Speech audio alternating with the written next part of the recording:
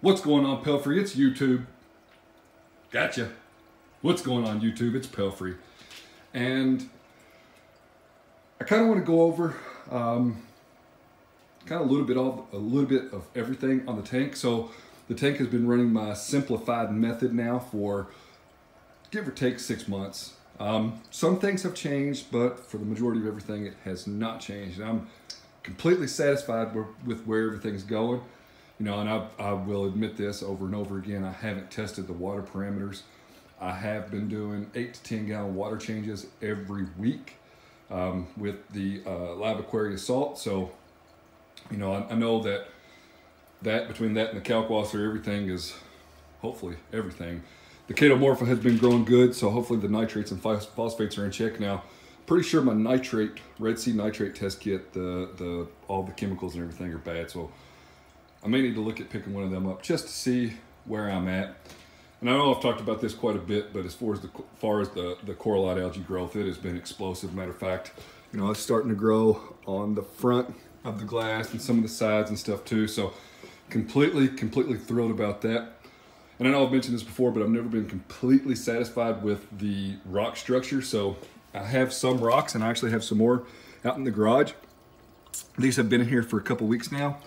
And you know, this whole section right here was used, uh, it's all one section. I used the eMarco cement and then this uh, right here and this base is one piece and then that's just laying on top of that. So I'm not really sure what I'm gonna do yet, but I'm not gonna cement these pieces in there. I know that Abe with Coral Euphoria and uh, TV have been taking drill bits and uh, got this idea from Abe with Coral Euphoria, uh, taking drill bits and drilling holes in there so that you can make um, uh, your own frag plugs out of acrylic rods and uh, a disc so that you can move them around. So I've been toying around with that idea a little bit. Not sure what I'm going to do just yet, but I knew all that those rocks and maybe a couple more are going to go into the tank. Now, as far as the equipment, obviously I've been running the Radion XR15s Gen 4s for a while. Um, I used to control them off of the Neptune Apex, but I sold the Apex whenever I went to the simplified system, so they're now running off the Ecotech ReefLink. And the ReefLink's been awesome. I read different reviews about it before I got it, more negative than not. And I have had to reboot it once or twice in six months. I very rarely ever change the spectrum. I did for the video sake. But if I do need to reset the, re the ReefLink, I go up the steps, uh, unplug the power, and then I plug it back in, you know, and it boots up and everything works just fine. So as far as the rest of the tank concerned, you know, the, the light mount that was made out of it's it is made out of 8020. Uh, I have the complete part list on my website at pelphrey.net. Whenever I went the simplified method, I got rid of the Ecotech pumps, all the Tunze pumps, and I bought a Jebao RW15, which was way too big for this tank. I meant to buy the, um, uh, it was an RW15, excuse me, a PP15. I meant to buy the PP8, and I got the, the 15 instead. So I ran on the lowest setting, and it did well for the tank. It was just rather large. And then I was talking to Scurvy with Scurvy's Reef, and I got an Ice Cap 1K gyre from him, so I added that to the tank. Fast forward to where we're at today, I'm back on the Tunze game. I have dual 6055 Tunze uh, pumps with the controllers. I loved the Tunze 6044, 6040 pumps that I had. I just didn't think that there were enough flow, and these things are, are running a low, low flow uh, pattern right now. So I have definitely have room to crank them up. I use the Tunze large scraper to clean the glass. And from time to time, I have to get in there and scrape some of the hard, hard spots out of the tank with a handheld scraper that I have. As far as the rest of the tank's concerned, there was a comment recently about how of a poor reef keeper I guess I am because I have snail shells all over the sand bed. And I'm 50-50 on it. I get it. My sand bed needs to be cleaned up. You can see the the pumps are moving a little bit of sand in here. This is the, I should re rewind here. This is reef cleaner rock. This is reef cleaner rock. And this pedestal is from Marco rock. This sand is Tropic Eden. Um, it's a couple different variations of sand and I have a whole five gallon bucket full of it.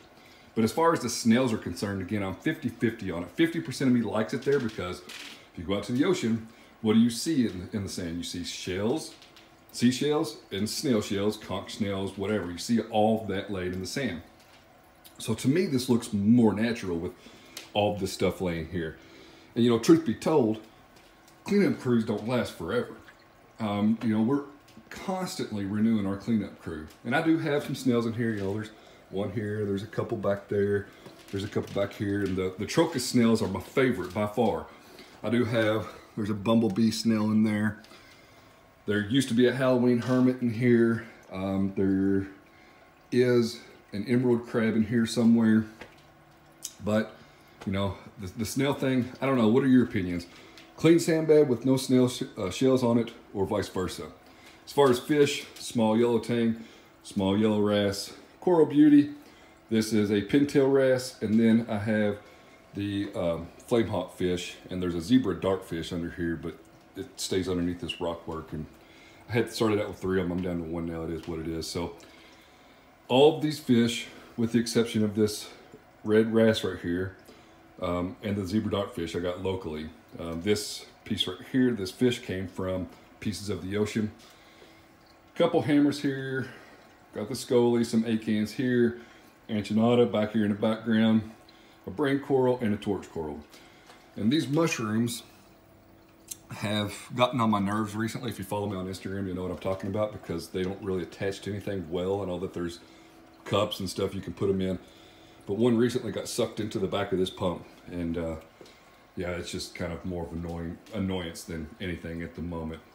Now, if we move down to the sump area, I am running the Crystal Reef Red Sea Reefer Triton sump.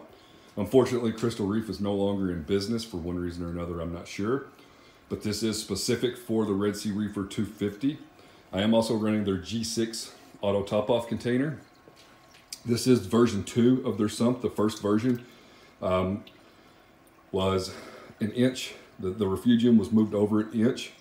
And I actually had them, they sent me the first sump, and I had them make me this sump so that you could fit a bigger skimmer and bigger return pump in here because at the time I had a Nyos 120 and a Core 20 pump, uh, return pump, and they barely fit into the chamber. So obviously now I'm not running the skimmer. So I do dose 200 milliliters of Kalkwasser a day. Both of these uh, BRS jugs, I just take, uh, what is it, two tablespoons or whatever, mix it with uh, one gallon of RODI water. And I've been using the Kamoer X1 the Bluetooth doser um, for about six months. It's been a great dosing pump. They're about 60 bucks. No complaints. Now, I did glue, super glue some bigger tubing here so that it fits here because by default the Kamoer comes with a small dosing dose dosing lines. Now I'm running the Tunze 3155 auto top off. Amazon Grow Light, this thing has been on here for like six months. It's been fantastic.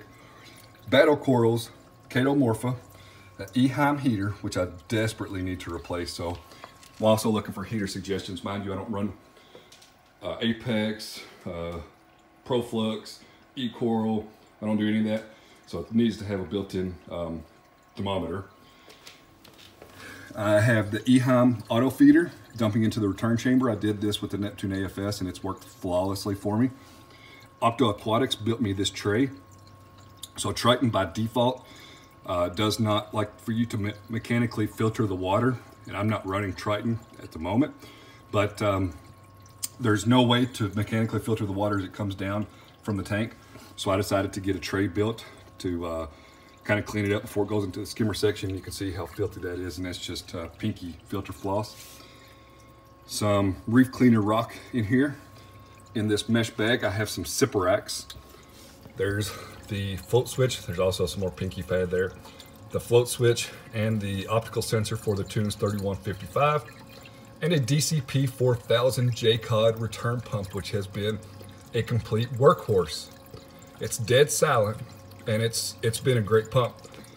Now also I do need to get some, I need to cut this down a little bit to get rid of this kink. It's been like that for six months now. And I need to get some black tubing because you can see the coralline algae in there. I know I've been asked recently whatever happened to the leak, and I do plan on getting the new set of O-rings for the Red Sea Reefer tank, but I've noticed the salt creep there once, and I've not noticed it again. So it is what it is. This light is a USB uh, rechargeable light. It's also motion detected. And I also use these magnetic door mounts. So this locks the door with no handles on the outside. Slide a magnet down and it opens the switch. So This is the magnet. Slide it down. You can see it disengage. So that's been very, very great on the tank. Now I do use, it's a $30 uh, surge protector. It's a Wi-Fi surge protector. Got my return pump plugged into it. Um, the, what else is plugged into it? I know one of the wave makers is plugged into it. And I think the Kamoer is plugged into it, but I'm not sure. I'm not 100% sure there, but that Wi-Fi surge protector has been amazing. You can set schedules with it. You can turn everything on and off. It is integrated with Alexa, so you can talk to her and tell her to turn things on or off. So if your hands are wet, you just send her the command by talking to her, and she'll take care of it for you. So, yeah. I know I've had some questions about this cabinet here, where I bought it. I actually built it out of half inch furniture grade plywood so that I wouldn't have to sand at all. I use pocket screws and this whole panel comes off of here. So inside of here is a battery backup, the surge protector and the controllers for everything else in the tank, the, the Jecod controller, the Tunze controllers, everything else is inside this cabinet. One of the hidden gems in the tank that we don't often see, but this coral has done, it's done well and it's been in there for quite a long time, so I'm completely thrilled with it. I know I've gone over everything pretty fast, most of you already know what's going on with the tank and how the tank's been living. For those of you that don't, hopefully that catches you up to speed. I don't think that there's anything else to go over at this point. So I'm gonna cut it off here. Be sure to check me out on Instagram at Pelphrey's Reef. Check out the website at pelphrey.net. And I'll catch you on the next one.